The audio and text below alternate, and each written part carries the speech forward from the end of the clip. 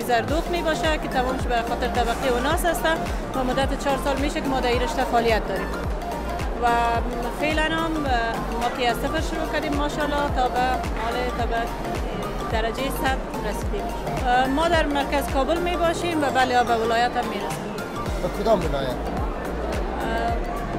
چند ولایت مختص است که میرن؟ یک مزار شریف است که کلانترین است ما در هر دیزاین کار می‌کنیم. هم لباس های محفلی میدوزیم و هم لباس هایی که به مود روز می‌باشن و لباس های عامی که دخترها در بیرون از خانه می پوشن هم ما کار می‌کنیم و دیزاین های مختلف را ما جور می‌کنیم و حالا چون فصل بهار است است که کتان زیادتر استفاده میشه در این فصل بختر گرمی ما در کتان کار می‌کنیم. خب از مردم خود تقاضا می‌کنیم که بیاین از همچنین نمایشگاه دیدن بکنن تا که بفهمن در وطنشان چی تولید میشه و ما چی تولید می‌کنیم و از تولیدات ما دیدن بکنن تا که برشان ضرورت نشه که از بیرون از افغانستان کسی برشان لباسی چیزا بفرستن. ما ماشاءالله در این رشته همه چیز داریم.